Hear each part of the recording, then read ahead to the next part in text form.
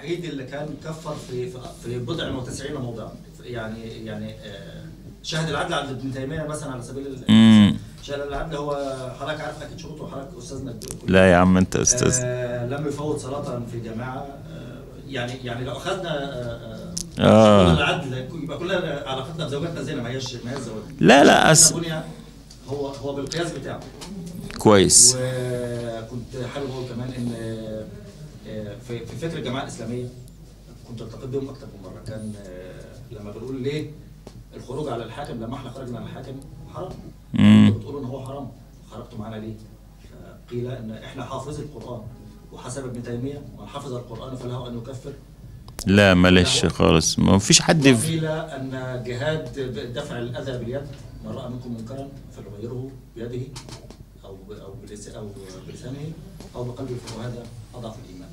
طبعا أجمع علماء ال- الإشارة على أن التغيير باليد هو للحاكم آه طبعا في في حضرتك أدرى مني إن فقه الجماعه الاسلام آه، يعني مش عاوز في فقه بعض الجماعات إن التغيير باليد آه، آه، متاح لكل من حفظ القران. لا إزاي لا أنا اول أول ه- هرد على سعادتك في عدة نقاط. اولا أنا بشكرك على أنك أنت متبحر ممتاز بس في كذا نقطة عايزة ضبط يعني. أول حاجة ابن تيمية هو كغيره من العلماء بشر يؤخذ منه ويرد وهو ليس بمعصوم. وعلى فكرة أصول الفقه بتقول إيه؟ أن قول الصحابي ليس حج. يعني قول الصحابي ما هوش حجة في الشريعة فبالتالي ما دونه ما هوش حجة. ولكن لا تقديس ولا تبخيس. لا إحنا نقدس ابن تيمية وناخد أي حاجة عنده وفي نفس الوقت لا نبخسه ولا نشتم ولا أي حاجة. هو عالم كغيره من العلماء. ابن تيمية أول حاجة مشكلته إن هو دخل في إشكاليات كثيرة جدا وأسلوبه صعب في بعض الحاجات وما إلى ذلك.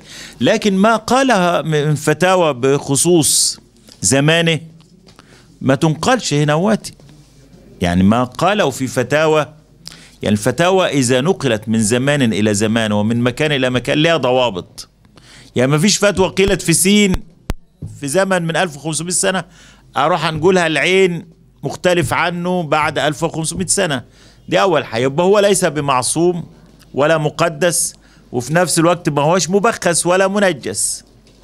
الحاجة الثانية أي عالم من علماء الإسلام حتى الصحابي نفسه قوله ليس بحجة ولكن لا يعني إنه مش مقدس إن إحنا بقى نشتم مثلا في الأئمة الأربعة وما إلى مش عليك أنت.